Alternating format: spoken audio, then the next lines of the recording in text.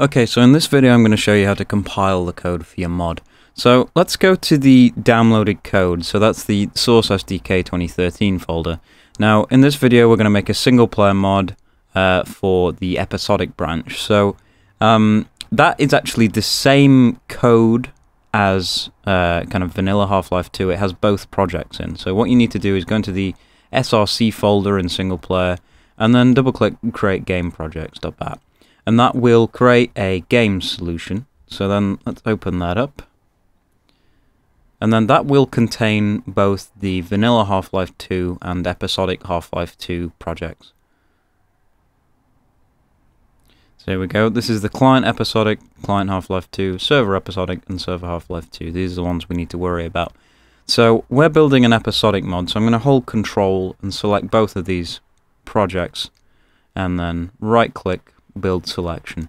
Now this will take a while, so I'm going to skip it in the video. But um, if you were building vanilla Half-Life 2, uh, obviously you just pick client Half-Life 2 and server Half-Life 2. And what that'll do is it will build some uh, DLLs into, uh, well, it'll create a bin folder in your source mods mod episodic folder, and it'll drop client.dll and server.dll in there. And that'll allow your mod to run. So, uh, obviously in the future you can add code to this as well, and you can edit how it works. Um, I'm not going to go into how to uh, add functionality to the code today, but if anyone wants to uh, make a request for any kind of tutorials, I'm open for doing that.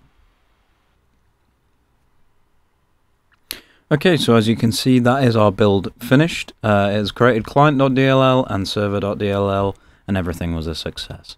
So let's go back to the source mods folder, uh, there it is. There's our mod episodic folder. As you can see, it's created a bin folder. And then if we go into bin, we have client.dll, server.dll, and some debugging symbols. Now, they're important for development, but if you're shipping your mod, you don't want to be pushing out those PDB files. So let's go ahead and uh, open Steam, go to my library. Now, this is a semi-important step because uh, if you don't do this, you won't uh, see any engine notifications that pop up because uh, there are some assertions that uh, tend to open when you start the, the mod after building it in debug mode. So let's right click this in Steam, click properties, click set launch options, and then add SW W1280 H720. And that means I want it to start windowed with the width 1280 and the height 720 let's go ahead and see if that runs.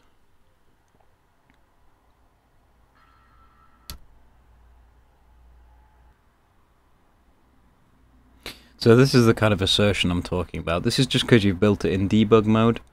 Um, we can safely ignore this assertion. And there we go. There's our mod running. So in the next video, we're going to be looking at how to set up the mod with Hammer so you can develop maps.